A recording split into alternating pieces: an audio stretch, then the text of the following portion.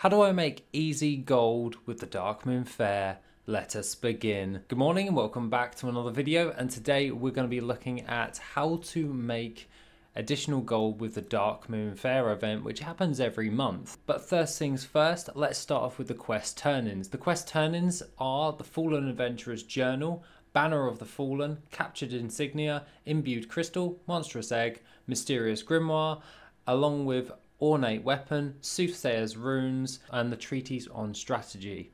These items can be accepted and purchased off of the auction house.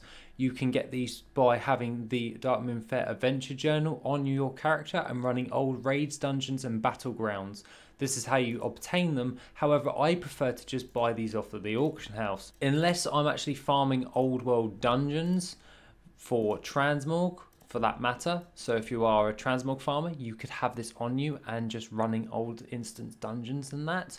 You can obtain those as a bonus. However, I would prefer to just purchase them off the auction house and hand them in.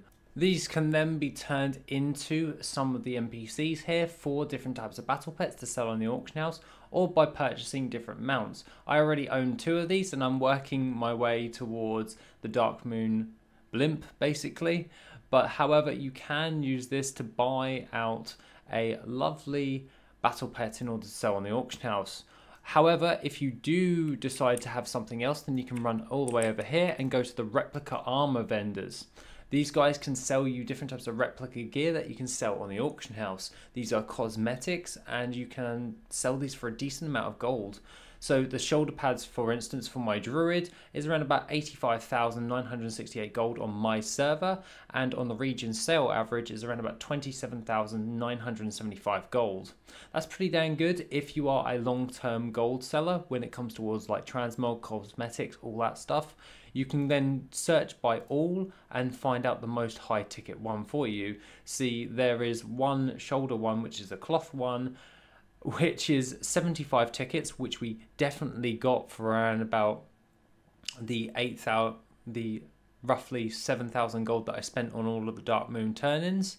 And we can purchase one of these, so 7,000 gold for, on my server is 195,000 gold for value for that, or the region sell average of 19,000. So you're still going to pull in a profit by selling these cosmetic items. However, for me, I'm saving them because I want that blimp mount. So I think everyone can understand why I'm not buying it because I really want the blimp mount. So I've got a couple more months in order to do this.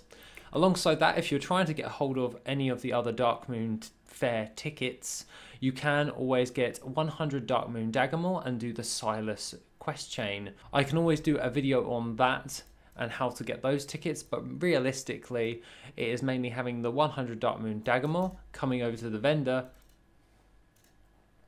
and you will buy this from this vendor here, Glassa, Gliesa, uh, and she'll sell you a faded treasure map where you have to find a series of notes and by the end of it you get 100 Darkmoon prize tickets. So if you haven't done that already, that is a unique quest chain that you only you can only do once per character a time.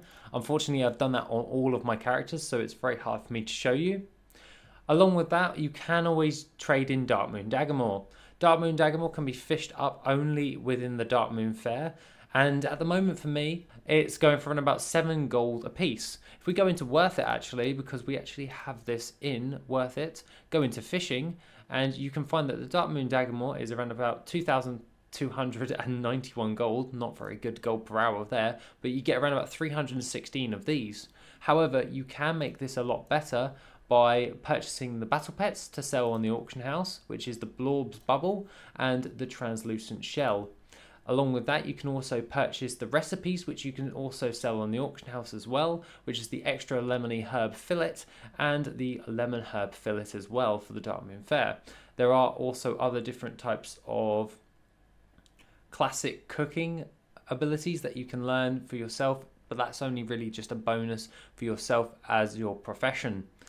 Other than that, this is a nice little guide for making gold with the Darkmoon Faire. There are other different types of things that you can do, like farm up the Darkmoon Rabbit and farm Moonfang's pelt. However, those ones are time sensitive and you can't do them straight away by watching this video. Along with that, if you do look at the chat, you will see if Moonfang is up or the Darkmoon Rabbit is up and try and see if you can get a chance of getting one of those as the Darkmoon Rabbit sells for a decent amount of gold on the auction house. Hopefully this will increase the amount of gold that you're actually making over time and other than that, please check out my other channel, Dala, where we're covering over different types of things to do with Void as the game, and we've just released the manga. So please feel free to check that out as and when you do. And links are in the description for anyone who needs additional help with gold making or just in general. Other than that, guys, have an awesome rest of the day, and I shall see you in the next video, which will be soon.